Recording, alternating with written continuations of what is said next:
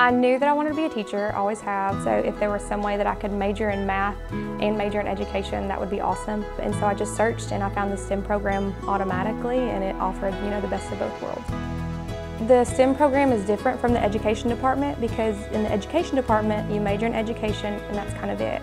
Whereas the STEM program you get kind of a two for one deal. I'm a math major. My bachelor's is in mathematics with a kind of a focus in education and so that way if I graduated and I didn't want to teach anymore I could always follow that math path and follow and do something with that.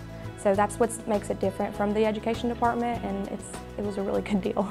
The thing about the STEM program too is the very first time that I had my first STEM class, I got to be in the classroom with the kids and so I think that's amazing because that helps you determine whether you want to do this for the rest of your life or not. I mean, it really just, when you get in there and you actually get to interact with kids and teach kids, you really get to figure out, okay, this is what I want to do or this is not what I want to do. Just getting actually to do what you're going to be doing, I think is super important, not just staying at the university, getting lectures, but just getting the experience and stuff. That's what I've liked the most.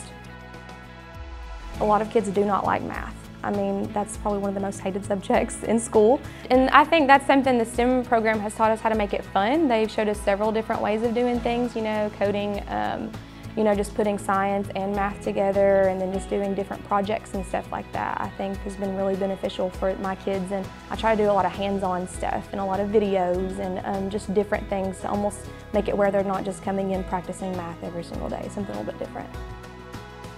I'm just, you know, just thankful. I think the STEM program was probably the best decision that I made going to UTC and I was a big Chatt State fan. I was very thankful that I did that. It made the transition going to college a lot easier for me. I mean, I felt totally prepared my first year. A lot of people say that your first year of teaching is crazy and you don't know what you're doing and you're just surviving and I have felt like that some days, but for the most part I have felt very prepared because they have just given me everything that I need to know.